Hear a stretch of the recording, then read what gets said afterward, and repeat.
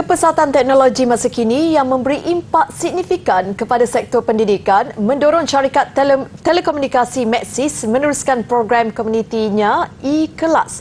Menerusi cabaran sains, teknologi, kejuruteraan dan matematik, STEM e-kelas, misi jelajah digital, misi penerokaan dunia imajinasi 2050 itu akan menguji pemikiran kritis dan kreatif serta kemahiran penyelesaian masalah oleh setiap peserta.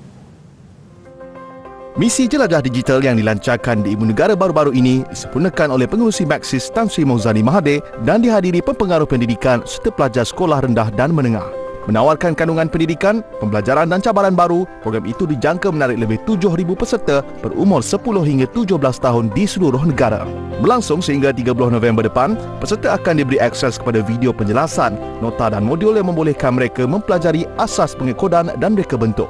And we as Maxis not only see ourselves playing an important role in the My Digital agenda, but we are also helping uh, the country achieve its STEM objectives in order to develop the future employees. Uh, we are encouraging our students to be more creative, to really utilize innovation and be ready for a great future where they will be representing the STEM employees, they will be representing the IR2 4.0 employees of the future.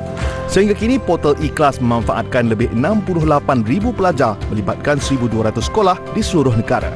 Dalam pada itu, ikhlas turut memacu agenda Lestari Maxis menerusi komitmen untuk membina masa hadapan lebih mampan melalui alam sekitar, sosial dan tabik urus ESG. We have launched our sustainability plan as we coined it as Max Plus. It is a mirror image of our commercial plans and it has three important areas that we are working towards sustainable planet, sustainable society as well as good governance. Untuk maklumat lanjut, layari laman Sesawang Tetera.